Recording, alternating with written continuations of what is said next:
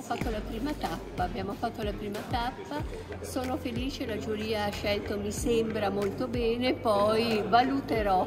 valuterò nei dieci giorni se sono veramente, se saranno le Marie del 2022 sono felice, quest'anno poi appunto che siamo in presenza l'abbiamo fatto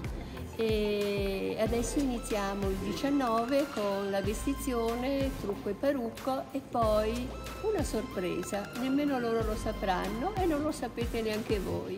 Sono sicura che anche per loro sarà una festa delle Marie gioiosa e, e felice e se la ricorderanno, come dico, per tutta la vita come le altre.